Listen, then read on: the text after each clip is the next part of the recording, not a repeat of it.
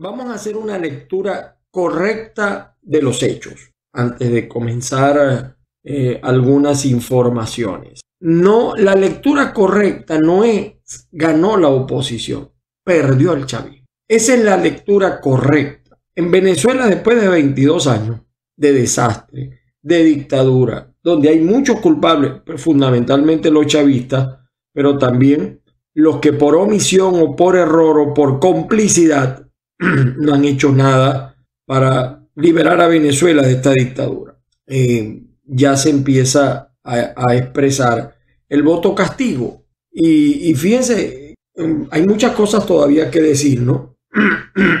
varias consecuencias, varias consecuencias. La primera consecuencia, por supuesto, es que pierde eh, simbólicamente una derrota importantísima, la que acaba de sufrir el chavismo, y una victoria de la oposición. Cuando yo digo de la oposición no me refiero solamente a la mesa de la unidad, que para mí no es la oposición, es una parte de la oposición, sino a todo el pueblo venezolano. Yo siempre he dicho que el pueblo venezolano un 90% es opositor, independientemente de su militancia o no.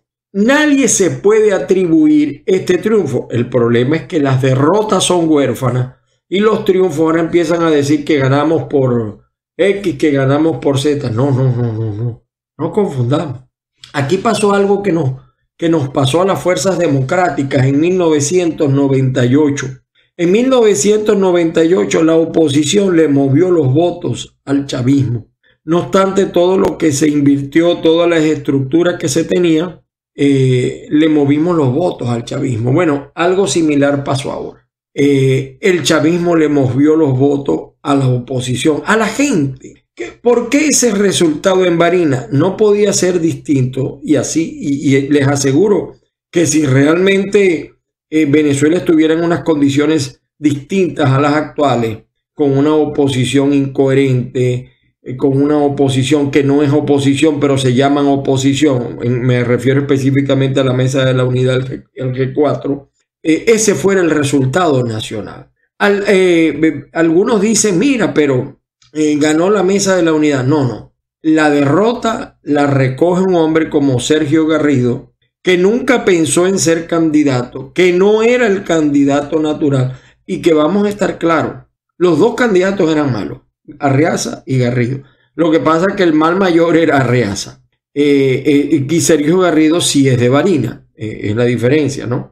Además, en Barinas, una familia que se convirtió de ser los pobretones del Estado, se convirtieron en la sangre azul, en este caso la sangre roja auténtica de la revolución, boliburgueses. Usted va a Barinas y le empiezan a contar todos los chistes y los cuentos de la familia Chávez.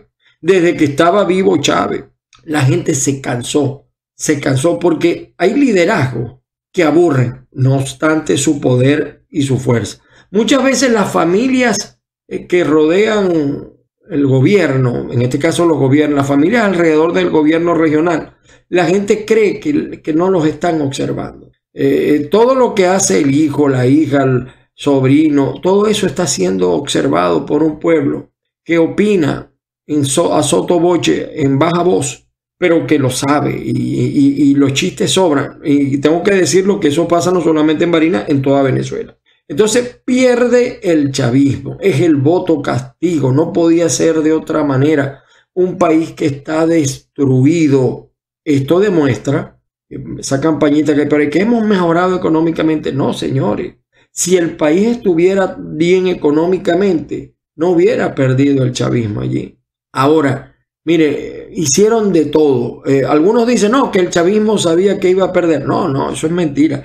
El chavismo no regala espacios. El chavismo no regala espacios. Eh, allí gastaron millones de dólares, compraron cada voto en 30 dólares cada uno, regalaron bolsas de comida, comida, medicinas, exámenes médicos. Bueno, la gente le sacó provecho. Eh, línea blanca desde un ventilador, un, Mm, nevera, cocina, lavadora, televisores, hasta PlayStation regalaron, hasta juegos de video, la última versión de FIFA 2022, todo, todo, hicieron todo.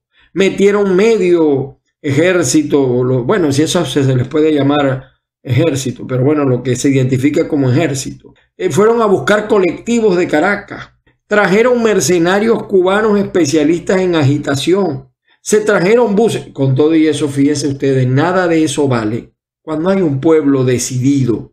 Y el pueblo tenía dos caminos y escogió el camino, vamos a decir, votó por el candidato. Eh, quizás también eso lo ayudó. Como Sergio um, no había gobernado absolutamente nada, no lo pueden culpar de nada. Es prácticamente, eh, no es nuevo, pero vamos a decir, es Jadeco, él viene de Acción Democrática, aunque era de la gente de, de Superlano. Eh, lo que sí está demostrado es que eh, no, tenía rabo de paja, por lo menos en cuanto a gestión pública, cosa que no podía decir el señor Arreaza. El señor Jorge Arreaza es un ser abúlico, eh, taciturno, prácticamente es como ver un juego de ajedrez por radio, o sea, un tipo que no anima nada, tiene el alma muerta, no tiene música en el alma. Quizá por eso hasta perdió su relación con la, una de las Chávez. Allá, es más, por donde pasaba, por donde pasaba le decían, la gente le cantaba, porque la gente del pueblo es así. Yo no me estoy burlando de eso, ¿no? Pero la gente del pueblo, cuando él pasaba, decía, y que no me digan el venado, el venado. O sea, eh, eso lo sabe todo el mundo. Triste que, por cierto, fue a votar con sus dos hijos y lo vieron perder. Eh, valeroso que lo haya reconocido por internet, por, un tuit de, de redes, pero porque ni siquiera los resultados lo tenían listo, porque el CNE allí fue un cero a la izquierda. Ante todos estos abusos, el CNE fue un cero a la izquierda. Eh, eh, está demostrado que el CNE es chavista. Ahora, fíjense ustedes, eh, por cierto, que me asombró que los diputados se aparecieron, los diputados 2015, eso sí salieron, eso sí se ganaron la lotería. Desde el 2015 son diputados. Eso sí se ganaron la lotería completa, Dios. Eh, y les pagan en dólares, ¿no? Por cierto. Eh, em, se aparecieron un día antes. Por ahí vi a, Tomás Guanipa. O sea, gente que no sumaba, que no tenía valor agregado, se apareció allí. Y es triste y lamentable porque también hay que decir esto, a pesar de que ganó, a Sergio Garrido lo dejaron solo. Información que nosotros manejamos del comando pequeño de Sergio, sin recursos, lo dejaron sin ningún tipo de asistencia. ¿Dónde estaban? Fíjese, la oposición tiene más de 100 alcaldes, cuatro o tres gobernadores tenía en ese momento, ahora tiene cuatro. Ninguno se apareció a acompañar a Sergio. El culillo es libre o el compromiso es libre. Ninguno se apareció. Ayer se aparecieron todos, antes de ayer, pues el sábado. Aparecieron todos y, y haciendo eh, en vivo por Instagram, por etcétera, por TikTok y tal. Aquí estamos. Mentira, ellos no sumaron nada absolutamente nada. Nadie puede decir, Guaidó no puede decir que este eh, triunfo es de él. No lo puede decir. Guaidó no representa, realmente la gente no lo ve como el líder conductor. Fíjense la diferencia de, las situaciones, ¿no? Eh, eh, si tuviésemos una oposición de verdad, ese hubiese sido el resultado desde hace mucho. Ya no tendríamos a los chavistas en el poder. No los tendríamos. Pero por supuesto, esto ayuda a replantearse objetivos, a reinventarse. Ahora, ¿sabía Maduro de esta situación? Sí, él sabía que se podía perder, porque él sabe que nadie quería ser candidato, empezando por allí. Y él sabe además que Arriaza eh, no, no tiene nada, nada, nada. Eso es peor que Guaidó, pues. Arriaza, que este, en este país están pasando unas cosas increíbles, comparado con los líderes del pasado. Eh, se desata ahora una guerra roja dentro del chavismo. Una guerra motivada, preparada y que está ganando Nicolás Maduro. Fíjense, por eso es que a mí me da mucha risa y hay muchos chistes de Maduro. Maduro es un tipo inculto, pero bruto no es. A mí me dio risa escuchar a Jaime Bailey en estos días pasados. No, no, Maduro bruto no es Jaime. No es culto, eso sí es verdad. No es culto. Una, tiene un lago, no, un mar con, de vacío de, de, en cuanto a conceptos básicos, elementales, a razonamiento. Pero está bien asesorado por el castrocomunismo, por los rusos, por los chinos. Y fíjense, acabó con la familia Chávez. Esto lo dije yo hace algún tiempo. Ya la familia Chávez desapareció del mapa. Pero además, el hombre del mazo. Le dieron hasta con el mazo. Pareciera ser que Diosdado es pavoso. Todos los candidatos de Diosdado, donde se mete, Iris Varela, Diosdado, eso se... Es que ellos creen que de verdad la gente los quiere. Iris Varela cree que la gente la quiere y la gente por fuera le dice Linda Blair, la del exorcista. La ven como un demonio. Y ella cree que la quieren. Igual a Diosdado. Él cree que la gente lo quiere. Y eso es mentira. Eso es mentira. Eh, eh, eh, y, o sea, por eso les decía que ganó el, mal, perdió el mal mayor.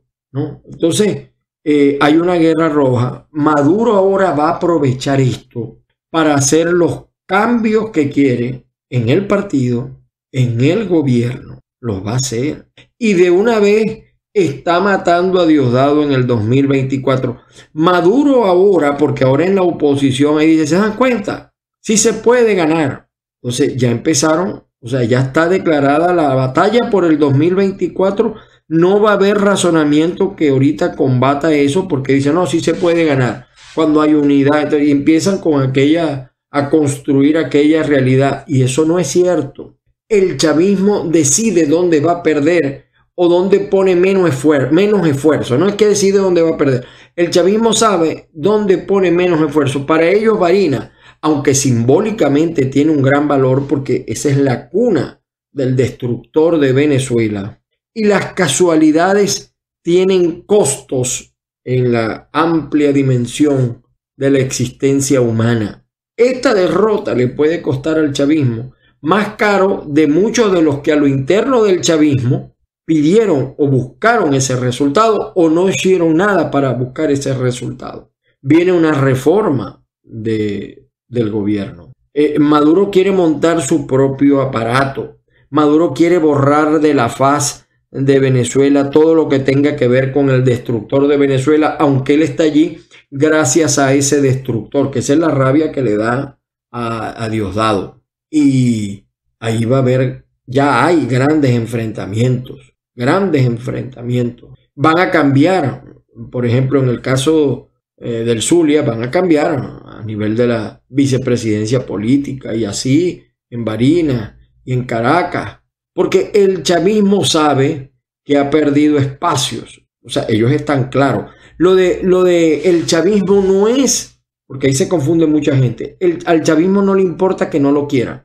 El problema de ellos no es la legitimidad, no es la legalidad, es mantener el poder. Y cuando hablamos de presidencia, no se caigan a pasiones. Para ganar la presidencia en Venezuela con ese CNE, no se caigan a pasiones. Fíjense que eh, Maduro los entretiene. Ahora los que están proponiendo el revocatorio cogen fuerza. Mire, si se puede y tal. Señores, no se caigan a pasiones.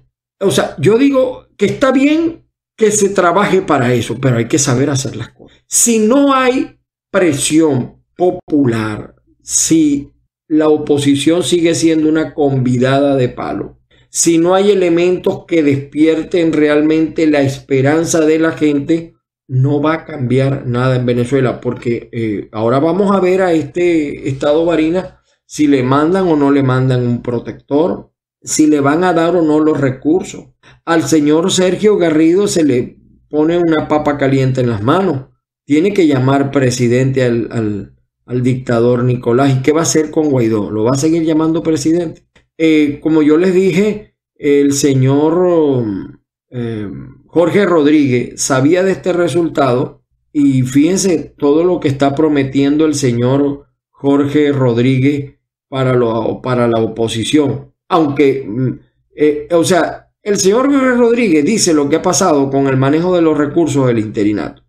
Y yo no dudo que esté diciendo la verdad del, dinero que se ha gastado, lo que le ha costado, los 7 millones de dólares para la asamblea. Eso yo no lo dudo. El problema es que el señor Jorge Rodríguez no tiene moral. O sea, ¿cómo un super ladrón va a llamar ladrón a otro que también roba, pero no como ha robado él que tiene 22 años en el poder? O sea, son las contradicciones que empezamos a ver en Venezuela. Pelea entre ladrones. Lo que se está debatiendo es una guerra intestinal y ustedes saben lo que hay en el intestino. eso es parte de la guerra roja porque algunos de los que están en gobierno están apoyados por algunos factores del chavismo. Eso es así. Eso es así. Y esas peleas en las regiones ahora cobran mayor fuerza. El caso de Zulia se dice que el miércoles que van a designar al que perdió Omar Prieto en el puerto. Pero la gente de Willy dice que Willy va para Corpo Zulia y Corpo Zulia mata puerto. Y así está en cada estado. En el caso de Caracas, el chavismo no tiene ya el control. Allí mandan las mafias de los colectivos. El chavismo lo que sabe es sacarle utilidad a, quien ellos, a quienes ellos le han facilitado la existencia. Eso es así, señores. Entonces, este resultado de Varinas eh, alienta por una parte, dice, entonces empieza la gente, claro que sí se puede ganar por el voto y claro que la unidad es necesaria, pero más necesaria que la unidad es la coherencia, la coherencia. Eh, si queremos acabar con el socialismo, ¿cómo es que nuestros partidos son socialistas? Si queremos acabar con el socialismo y con el comunismo y con el castrismo chavismo, empecemos a entrar en empatía con la gente realmente hemos entrado en empatía con la gente. Lo que decía Capriles, aunque tampoco tiene moral para decirlo, es cierto. La oposición está divorciada de muchas de las cosas que padece el, venezolano y que pide el venezolano. Por eso es que más de mil personas se van todos los días de Venezuela. Un poquito más, un poquito menos. Somos, eh, ya superamos a Siria en cuanto al éxodo, en cuanto al desplazamiento. Y la oposición no se ha dado cuenta que este año hay elecciones en Brasil y en Colombia. Y todo indica que van a seguir el camino de la izquierda, del socialismo, del comunismo. A mí no me vengan con ese cuento de no, pero esto es socialismo y no es el, chavismo, no eso, no, no, eso es igual. Socialismo y comunismo van por la misma, por el mismo camino. Un poquito antes uno, pero es el mismo final. El mismo final. Ahora, el chavismo, repito, reitero y ratifico, no cede espacio, pero no da pie sin bola. El chavismo sabe lo que está jugando. Maduro sabe a lo que está jugando.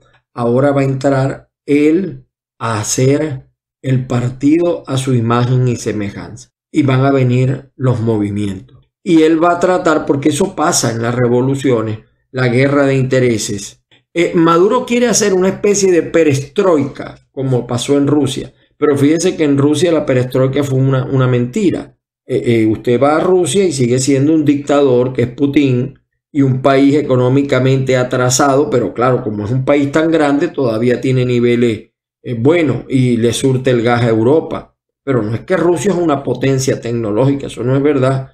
Y vemos en la China, sí es verdad, pero ¿cuántos pasan hambre en la China? Ok, son más de 1.500 millones de habitantes pero por lo menos hay 500 millones que están en la peor pobreza o están en pobreza, no en la peor, pero sí en pobreza en China. Y en China usted no puede hablar, no puede opinar, tienen hasta su propio Facebook, sus propias redes, y eso es lo que queremos para Venezuela. Eso es lo que cree Nicolás que va a implantar en Venezuela. Es importante este, este, esta derrota del chavismo. Esta derrota del chavismo significa que el chavismo no es una realidad no es una realidad. Pero aquí el pueblo se impuso a los intereses del chavismo y también a los intereses de la oposición, a los dos. El pueblo está hablando. Eh, falta que la gente eh, logre entenderla, los que dirigen. Y a mí me dio mucha risa Jorge Arriaza porque decía, por ahora el objetivo no se ha logrado, como queriendo emular al, al, al charlatán del siglo, a Hugo Chávez, al destructor de Venezuela, Hugo Chávez. Eh, en la columna del viernes hablaba volver del futuro. Si nosotros mm, viajáramos a la Venezuela de los años 90, eh, nos daremos cuenta de lo que hemos perdido, pero no es que allá estábamos bien, porque por algo ganó Chávez. No es que estábamos bien, pero estábamos menos malos, vamos a decirlo así. Curiosamente, los cuatro gobernadores que tiene ahora la oposición, todos son adecos. Morel, Galíndez, Rosales y Sergio, apoyados por distintos factores. Este, claro, son adecos, pero no pertenecen a la D, ni a la de Bernabé, ni son la expresión de la D de Henry Ramos, el hombre de, de los mil y uno. Hay gente que tiene las mil y unas caras, este tiene los mil y un negocios.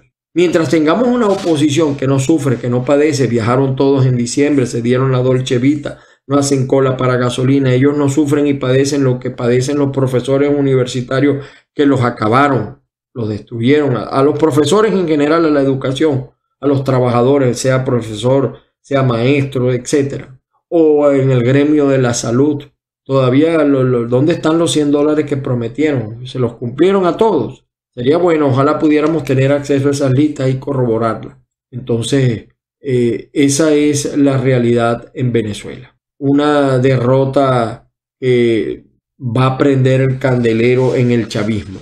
Todos contra Maduro, un tocoma, pero el problema es que Maduro tiene el toro agarrado por los cuernos y le va a ser muy difícil al señor Diosdado Cabello y Chávez.